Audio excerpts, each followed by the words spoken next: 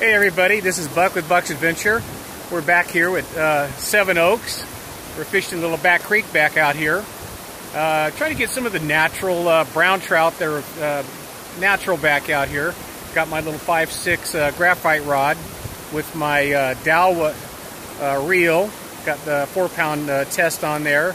Got my little gulp wormy on there. See if I catch something. Had a few bites, but uh, nothing as yet. Uh, I thought I'd give you guys uh, just a look around. It is just gorgeous back here. I've hiked back about eh, maybe a mile back in the little woods back here. I was back here uh, last year uh, deer hunting, uh, bow hunting as a matter of fact.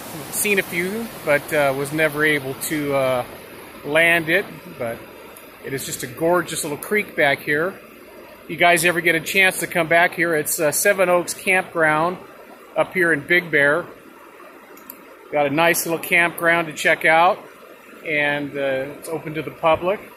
You guys get a chance to come up here, take a look. It's got a nice little campground. I think it's uh, 45 bucks a night, and uh, it's open to the public. But come check it out, and got a nice little fishing area and camping area too.